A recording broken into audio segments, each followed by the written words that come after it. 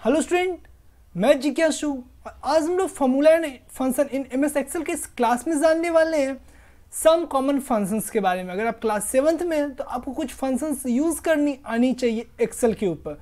तो चलिए, हम बिना देरी के अपने क्लास को स्टार्ट करते हैं। अच्छा क्लास स्टार्ट करने से पहले हमेशा की तरफ़ से रिक्वेस्ट है, अगर इस चैनल पढ़ना है तो मैं चैनल को ज़रूर सब्सक्राइब कर लें। ताकि हमारे आगे आने वाले क्लासेस की नोटिफिकेशन आपको आसानी से मिल सके। इस चैनल के ऊपर आपके लिए hundred day of code challenge start हो चुका है तो आप उस चैलेंज को भी ज़रूर एक्सेप्ट करें। तो चलिए, हम आगे बढ़ते हैं, अपने क्लास को कंटिन्यू करते हैं। तो हम सबसे पहले बात करते हैं सम कॉमन फ़ंक्शंस की।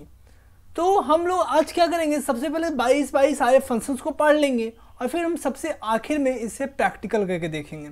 तो हमारा सबसे पहला कॉमन फ़ंक्शन कौन सा है? सम हम लोग यूज़ करते हैं सम को अपने डेली लाइफ में। एक्सेल के अंदर भी हम इसे डेली लाइफ में यूज़ कर सकते हैं।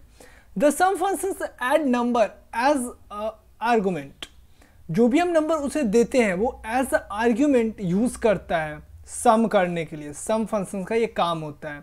जो भी हम उसे आर्गूमेंट के तौर पे देंगे, वो उसे ऐड करेगा।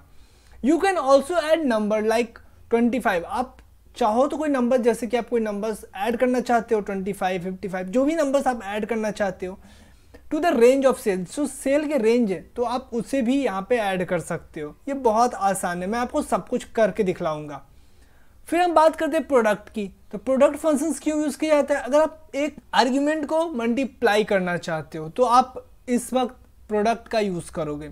You can also multiply the value of the cell with any given number आप कोई भी गिवन नंबर आप चाहते हो कि आप इसके साथ मल्टीप्लाई करना चाहते हो, किसी भी सेल को तो आप वो भी यहाँ पे कर सकते हो। तो मैं ये भी आपको करके दिखलाऊँगा। फिर हम लोग बात करते हैं एवरेज की। The function is use to calculate the average of the given value यहाँ पे देखिए यूज़ के बाद मैंने टी यहाँ पे मिस टाइप हुआ है। यहाँ पे टू होगा। तो एवरेज का यूज़ क्यों किया जाता है? अगर हम कोई एवरेज वैल्यू को फाइंड करना चाहते हैं तो फिर हम एवरेज का यूज़ करते हैं। ये सेम लाइन रिपीट हो रहा है। फिर उसके बाद मैक्स और मिनिमम मैक्स और मिनिमम का भी एक यहाँ पे कंसेप्ट है, जिसके बारे में मैं ज़्यादा यहाँ पे बात नहीं किया। मैं क्या करूँगा, मैं आपको सीधा करके दिखला दूँगा। उसके बाद हम लोग के सामने एक और ऑप्शन क्या होता है? नाव का। तो हम लोग नाव का यूज़ क्यों करते हैं? This function display the current date and time अगर हमें अपने एक्सेल सीट के ऊपर करंट डेट और करंट टाइम अगर शो करने की ज़रूरत है तो हम इस फ़ंक्शन का यूज़ करते हैं। This function has no argument इस फ़ंक्शन का कोई आर्गूमेंट नहीं होता। तो चलिए, अब हम बिना देरी की अपने एक्सेल के ऊपर चलेंगे और ये सब कुछ जो भी हमने यहाँ पे पढ़ा है, उसे हम लोग प्रैक्टिकल करके देखेंगे। तो ये अभी हम आ चुके हैं एक्सेल के ऊपर। ये, आपको ये सीट तो याद ही होगा, ये मैंने मार्कशीट बनाया था। तो हमें टोटल करना है। तो टोटल करने के लिए हमें क्या करना होगा? सम तो आपको सबसे पहले आप क्या करेंगे? इक्वल टू प्रेस करेंगे। उसके बाद हम लिखेंगे एस यू एम यहाँ ये देखिए मुझे टॉप पे ही सम दिखाई दे रहा है। मैं इसके ऊपर क्लिक करूँगा। सम करने के बाद अब मुझे क्या करना है? इसे क्लिक करेंगे और अब हम रेंज को चुनेंगे। तो मैंने रेंज चुना ब्रैकेट बंद और एंटर ये हमारा सम हो गया। ये तो मैंने बहुत बार करके आपको दिखलाया है।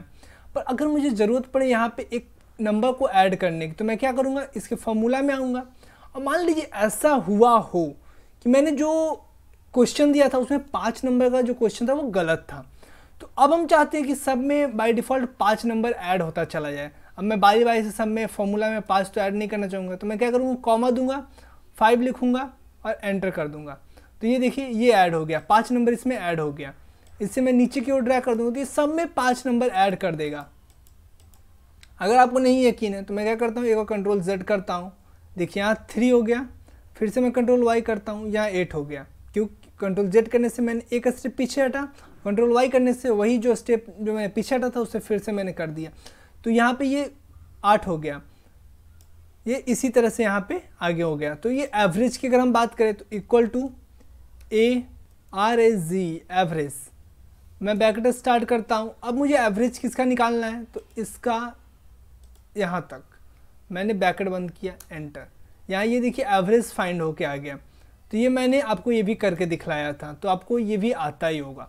अब हम लोग मैक्सिमम और मिनिमम की बात करते हैं। तो मैक्स मैक्स का क्या काम होता है?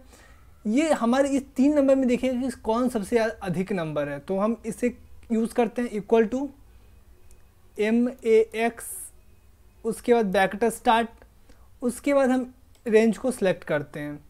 ब्रैकेट बंद एंटर 89 हमारा सबसे अधिक कौन सा? 89 इसके बाद हम नीचे इसे ड्रैग कर देते हैं। तो ये देखिए, सब जितने भी जितने भी तीनों में ज़्यादा नंबर जिसमें भी होंगे, वो इसे यहाँ पे डिस्प्ले करेगा। जैसे इसमें 85 ज़्यादा है तो 85 को यहाँ पे शो कर रहा है।